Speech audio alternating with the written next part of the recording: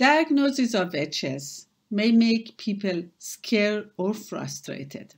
Most patients who have been diagnosed with HS have been waiting for a long time. There can be a variety of options for treatment that needs a close collaboration between dermatologists and patient to choose what therapy is the most appropriate treatment for that individual at that point of time and that stage of the disease. HS is a dynamic disease. The treatment options might change by time. There are multiple category of therapies that sometimes we use all of them at the same time. One would be behavior change.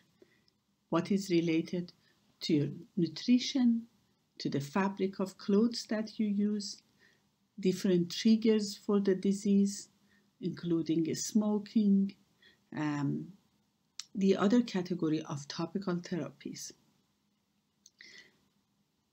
The third one are systemic therapy. Systemic therapy could be uh, oral, pill, or injection, and surgical therapy which have different type of surgery and sometimes lasers.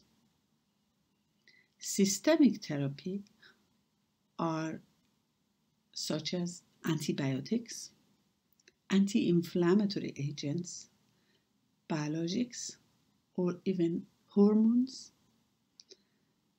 on other or other kind of anti-inflammatory agents that are used to target inflammation in patients with HS. The best outcomes are achieved when treatment starts early. Then seize the day and don't miss the window of opportunity. Thank you.